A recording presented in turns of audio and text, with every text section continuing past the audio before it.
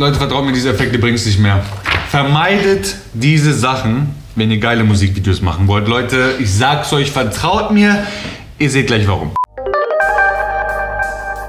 Hey Leute, was geht? Wer sich einige meiner Musikvideoanalysen angeschaut hat, der weiß, dass es ein paar Sachen gibt, die mich nicht unbedingt triggern, aber schon ziemlich nerven. Das passiert in der Regel, wenn ich irgendeinen Effekt wieder zum tausendsten Mal sehe. Aber ey, ich bin hier, um das zu ändern, Leute. Ich mache diese Liste der zu häufig verwendetsten VFX, damit die Leute, die es sehen, es in Zukunft besser wissen. Let's go! VHS oder Tape Look. Fangen wir an mit dem aktuellen Spitzenreiter. VHS oder Tape Look. Mit diesem Filter lässt man seine Videos so aussehen, als hätte man sie mit einer alten 80s oder 90s Kamera aufgenommen und auf einem Tape-Medium, wie zum Beispiel einer VHS-Kassette, wieder abgespielt. Seit ein paar Jahren gibt es die ersten Plugins und Programme, die genau diesen Effekt voll easy mit zwei oder drei Klicks nachzaubern können. Wenn ich aber jetzt blindlings mit so einem Look rumfeuer und jeden zweiten Clip so aussehen lasse, dann entkräftige ich damit die Wirkung davon. Er wird langweilig, unpassend und nur noch zum nervigen Gimmick. Noch schlimmer wird es dann, wenn dieser Effekt mit anderen unpassenden Effekten kombiniert wird. Wer sich an meine Analyse von März asozial erinnert, da wurden ein paar Shots mit modernen anamorphischen Lensflares und Cinema-Balken hochwertiger gemacht und dann wurde das Ganze voll willkürlich Einfach so random mit einem VHS-Look versehen. Formatbeschneidung. Wenn wir gerade schon von Cinema Balken gesprochen haben, das nächste Stilmittel ist eines, was aber auch erst seit ein paar Jahren so richtig ausgereizt und misshandelt wird. Nämlich die Formatbeschneidung zu 1000 verschiedenen CinemaScope-Versionen, quadratisch, 4 zu 3, 5 zu 4, 2 zu 1 etc.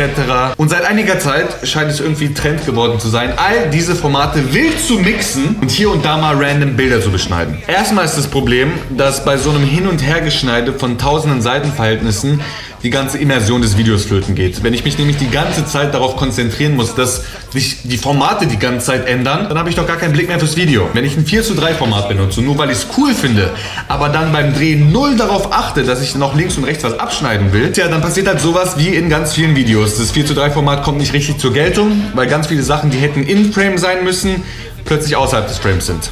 Tja, Glitches. Uh, mit meinem Video stimmt was nicht. Uh, da sind Bugs und Glitches drin. Uh, voll mysteriös und Underground-Hacker-Shit. Uh. Glitch-Effekte haben das große Glück, dass sie sehr diverse sind und 100 verschiedene Glitch-Effekte können am Ende noch sehr verschieden voneinander aussehen. Es gibt Kompressionsartefakte, Freeze-Frames, Data-Moshing, Pixel-Sorting und so weiter und so fort. Es sind auch Effekte, die auf jeden Fall viel zu viel zu viel benutzt werden, aber sie tarnen sich ganz gut. Ich kann mich hier, um ehrlich zu sein, auch nicht so krass drüber aufregen, weil die haben eine Art Alibi. Ein Tipp von mir, achtet einfach darauf, dass wenn ihr Glitches benutzen wollt, ihr es aus einer Motivation tut. Ein gutes Beispiel ist das Musikvideo von Marvin Game, Keine Menschen. Ich habe ja selber an diesem Video mitgewirkt. Ich habe diese ganzen HUD-Einblendungen gemacht, an denen die Mädels rumarbeiten. Und auch in diesem Video gibt es Glitches und Bildfehler, aber hier passt es, weil dieses Video hat einfach äh, von Natur aus diesen digitalen, futuristischen Look. Und da sind Glitches und digitale Fehler nicht fehl am Platze. Sky Replacements und Luma Transitions. Ein Effekt, der auch immer und immer öfter benutzt wird, Sky Replacements, also den Himmel ersetzen durch einen farbenfroheren,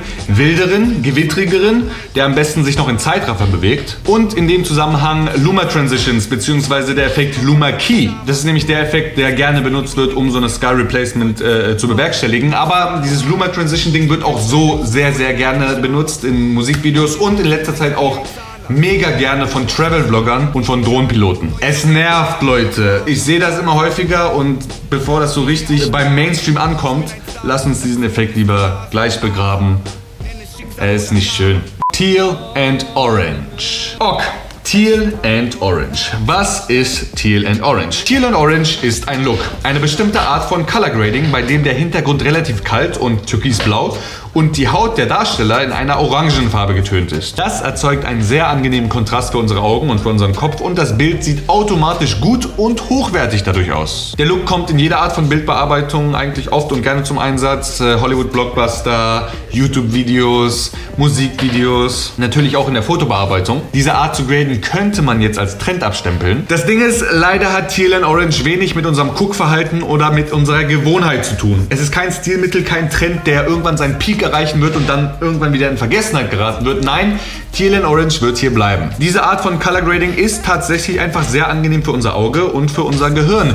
Das liegt daran, dass das Orange, was genutzt wird, eine sehr gesättigte Variante eines natürlichen Hauttons darstellt. Und dabei ist übrigens auch egal, wie hell oder wie dunkel ein äh, Hautton ist. Alle befinden sich im selben Farbbereich. Und das Blau, Türkis für die Hintergründe, tja, das ist einfach nur die Komplementärfarbe zum Orangeton. Wenn ihr wissen wollt, was eine Komplementärfarbe ist, dann googelt den Scheiß bitte.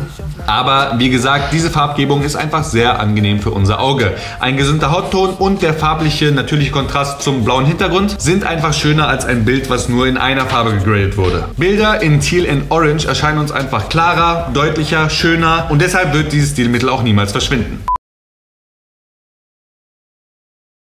Leute, das waren nur fünf von vielen, vielen Effekten, die zu häufig benutzt werden. Es wird auf jeden Fall irgendwann Teil 2 geben. Dafür brauche ich eure Hilfe. Schreibt mir in die Kommentare, welche Effekte eurer Meinung nach einfach mittlerweile overused sind, die ihr nicht mehr sehen wollt, die ihr nicht mehr sehen könnt. Checkt meine ganzen anderen Listen äh, zu Deutschrap-Video und zu Hip-Hop aus. Sehr interessante Sachen dabei. Bewertet das Ganze mit einem Daumen nach oben, falls es euch gefallen hat. Falls es euch nicht gefallen haben sollte, aus welchem Grund auch immer, dann bewertet das Ganze mit einem Daumen nach oben. Abonniert, um nichts mehr zu verpassen. Das war's. Tschüss.